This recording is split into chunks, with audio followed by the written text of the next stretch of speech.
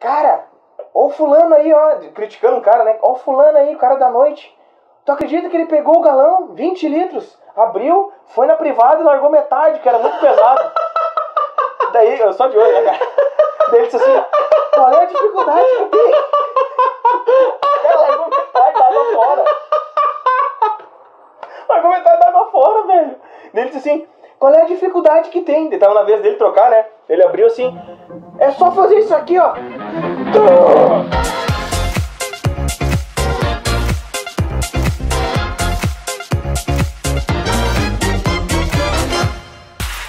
Falar então hoje a respeito de Mulher Maravilha. Certo. Nova empreitada da, da DC Comics no cinema que vai vir agora no, no meio do ano, né? Tava vendo na internet essa semana, a previsão é de que o- esse filme da Mulher Maravilha tem a pior estreia, a pior bilheteria de todos os filmes que a DC lançou nessa empreitada. É uma, uma notícia ruim, né? É. Uma notícia ruim pra Warner, né?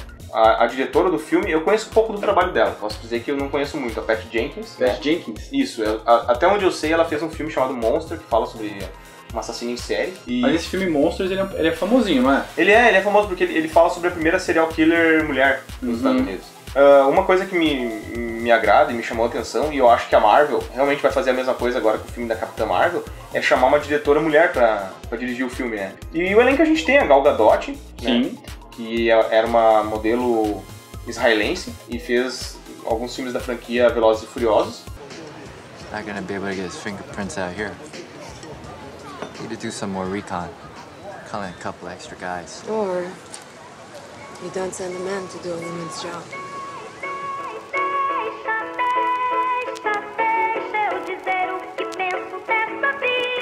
Pessoal meio que comentando e tal, porque ela, ela não tem um porte físico troncudo, né? Ela treinou bastante. Quem tem a complexão magra é muito difícil ganhar. Massa, é. Até então, nisso aí dá pra se dizer que ela se esforçou, né? Ela se esforçou bastante. deu certo, né? Deu certo. Automaticamente, quando escolheram ela, eu fiz uma relação com a Mulher Maravilha dos anos 70. Sim, te- teve, né? Teve, nos anos 70 tinha uma série da Mulher Maravilha com a Linda Carter, foi uma série que fez bastante sucesso. Lembrando que na época, a ideia que se tinha de série é uma, uma ideia completamente diferente do que a gente tem hoje. Ho- Hoje a ideia de série, posso estar errado, né? Mas o que eu vejo é que você cria a série não como apenas um produto que vai ser transmitido, mas como um produto que vai possivelmente ter um spin-off, é, vender camiseta, vai, vai ter- talvez negociar com a Netflix. É a mesma ideia do filme, só que tu tendo uma liberdade de poder contar aquela história em 10 horas. Isso começou a mudar com o Arquivo X, no início dos anos 90, né? Sim. Mas nos anos 70, que era a época desse primeiro seriado da, da Mulher Maravilha, não, eram, eram séries despretensiosas. Né? Assim como séries como, por exemplo, uh, MacGyver, Gatões e outras séries assim, né? Tu tinha um episódio fechado onde tu contava uma aventura e terminava ali. Ah, é- Era a aventura da semana, né? Exato, era a aventura da semana. Não se tinha toda essa, essa preocupação de criar grandes sagas e grandes reviravoltas, né? Eu conheço várias pessoas que dizem, não, eu parava em tal horário pra assistir o MacGyver, né? Ah, minha mãe parava. É. Dona Sônia.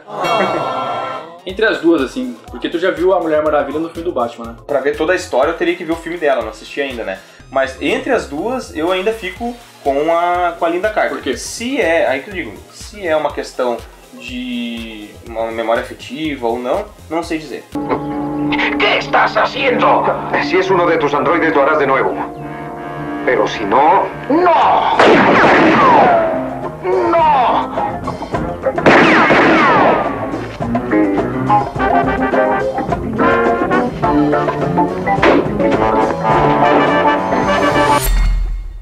O filme vai se passar na Primeira Guerra Mundial, Isso. né? O, o Chris Pine vai estar nesse filme Tá. também.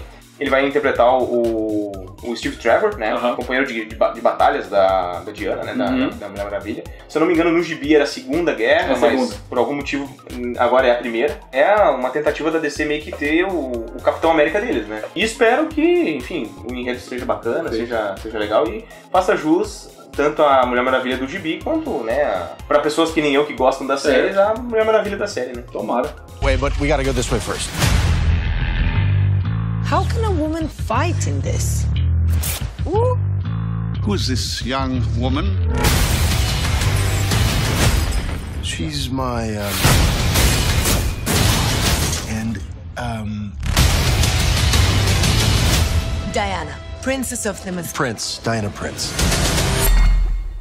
Que pensar com Mulher Maravilha? Um tempo atrás a gente publicou no nosso Medium uma análise, um texto e tal, porque naquela época a Mulher Maravilha tinha deixado de ser a embaixadora da ONU para empoderamento feminino. As feministas brigaram muito com o papel da Mulher Maravilha, dizendo que ah, ela anda seminua, tenta se eh, vulgarizar o corpo pro homem, como personagem, como símbolo e tal, eh, dizendo que ela é violenta e representa atributos masculinos ou que agradem o homem. Eh, E aí, enfim, simbolicamente foi retirada.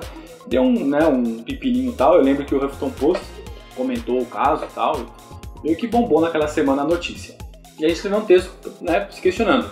Tá, mas será que a mulher, é, por ser branca, europeia, hétero e mostrar o corpo, ela não pode representar a, a feminilidade? Tem uma, uma feminista que também a gente colocou lá no texto, chama Camille Paglia, bem polêmica nas, no que ela escreve. Ela é filósofa também, então não é uma mulher na mídia que está dando a opinião dela. Não, ela estuda, tem trabalhos publicados, livros, enfim. E, cara, uma das frases da Camille Paglia que, que acho que cai como uma luva com relação a isso, diz respeito à, à, à separação que existe, de fato, entre homens e mulheres. Ela fala assim, ó, mulheres, os homens têm pênis, lidem com isso.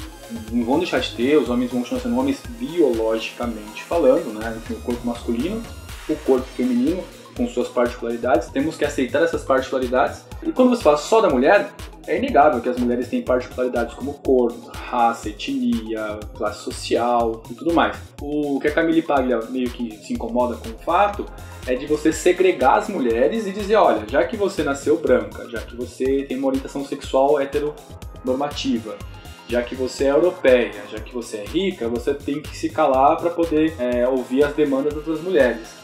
Tu já cria uma, Uma segregação. uma segregação aí. né? Que não deve ocorrer, né, cara? Eu, eu acho que não. Todo mundo te- deveria ter direito à fala, todo mundo certeza. deveria ter direito a colocar aquilo que lhe desagrada, aquilo que deseja, né? Qual é o seu plano de vida, quais não são, o que, que você pre- pretende conservar na sua existência, o que você quer mudar. Quando você tem esse tipo de situação, você segrega, né? Porque o ser humano não escolhe se nasce branco, pobre, não escolhe se nasce europeu, brasileiro, não escolhe se nasce alto, baixo. E, e todo mundo tem direito de dar sua opinião, né? Exato. Para as, as diversas Exato. assuntos. Como é tudo feminismo, né? Dentro do feminismo tem várias, Várias ondas. várias ondas que discutem entre si, né? Do mundo político, obviamente, sem dúvida nenhuma. Ah, Dentro das artes marciais, acho que a gente participa bastante disso, né? Tu às vezes tá num- nos fóruns ali ou no Facebook conversando com o pessoal.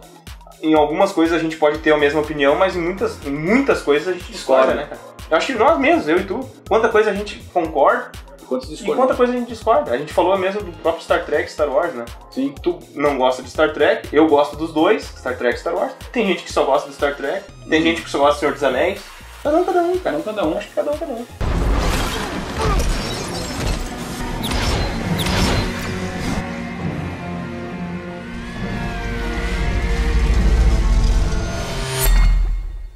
Segundo ponto de crítica com a Mulher Maravilha é, bom, ela mostrar o corpo dela, andar seminua, mas assim, Mas é uma questão de adaptação do, do personagem, eu acho. cara, e- é, ah, tá bom, a mulher não sabe que, que tá, né, inconscientemente ela não sabe que tá se vestindo pro homem pra poder, enfim, blá blá blá blá. Isso é chato, isso é chato, concordo. Mas e se você parte de outro ponto? E se a mulher realmente sabe de tudo isso e mesmo assim escolhe se vestir com roupas curtas né, para poder agradar o sexo oposto? Qual o problema? Ela não deveria ter esse direito? Ela tá usando uma roupa de guerreira, não sei, eu, eu- né, até nesse novo filme agora, tu vê que é uma roupa de guerra, né? É, no, no filme. Batalha, né? Enfim. A briga das feministas foi com relação àquele biquíni Ah, da- do personagem. personagem no. Mas no foi, foi o que eu disse, é só uma questão de adaptação da. É, ué, é um gibi. É um gibi. É. E na vida real, na vida real nossa, se a mulher entende tudo isso e mesmo assim escolhe mostrar o corpo, respeita, né? A pessoa não deve ser agredida por conta disso, né? Exato. Não deve agredir a pessoa por conta Nem disso. por homens, nunca, É. e nem por mulheres. E por fim, brigaram também na época, reclamaram, acho que essa discussão vai, vai voltar à baila quando sair o filme da Mulher Maravilha, que, bom, mas a Mulher Maravilha, ela tem atributos muito masculinos, ela, né, ela resolve tudo na porrada e tal, mas aí, bom, aí a gente também tem outro problema, porque quando, quando as mulheres são retratadas em livros, filmes, gibis, como a frágil, que tem que ser protegida e tudo mais, pô, reclamam pra caramba, porque a mulher, né, é um coadjuvante de luxo. Aí quando a mulher é- é forte, se impõe, é guerreira, Também reclamam. também reclamam. Esse estereótipo da donzela em perigo, eu fico feliz quando isso é mudado. Ah, também. Né? A gente viu aí, por exemplo, a, a, a Furiosa no Mad Max, né? Não só a Furiosa no Mad Max, mas a gente vê a Rey no Star Wars. E vejo assim, ó, com bons olhos, eu vejo que bom que isso tá mudando pra esse lado. Porque, enfim, cara, foram praticamente 100 anos de cinema e de cultura pop, onde tu tinha a mulher sempre como donzela em perigo. Tu tinha lá o 007 e a Bond Girl, na maior parte da- das vezes, era uma donzela em perigo que ele tinha que salvar. Não só o 007, outros exemplos também, Porcaria. né? Deu isso que eu tô dizendo. Que bom que a coisa tá mudando. É quando muda, brigam. Enfim, mas aí que tá. Mas, cara, isso é uma coisa do ser humano. né? O ser humano é assim. É, cara. vai brigar de ser humano briga por. O ser humano briga por tudo, né? O importante é não brigar com a gente. É, não briga com a gente. Não briga com a gente, a gente gosta de vocês. Exato. Assine o nosso canal, por favor, a gente tá precisando Se de, inscreve aí, de, de assinantes, de inscritos. Curte esse vídeo. E isso, compartilha nas redes Compartilha. sociais. Porque o, o que acontece? A gente tá trabalhando justamente pra trazer, né? Cara, eu quero, eu, material de. eu quero que o mundo conheça a gente, cara. Mundo, exato. Mundo e o universo. Se um ET captar, captar nós numa antena Nossa, aí, capta a gente, a capta gente vai, vai aprender a falar na língua deles e vamos Vai mandar. mandar pra eles também. É isso então. É isso aí, cara. Pensa em cultura pop e não morra. Um abraço.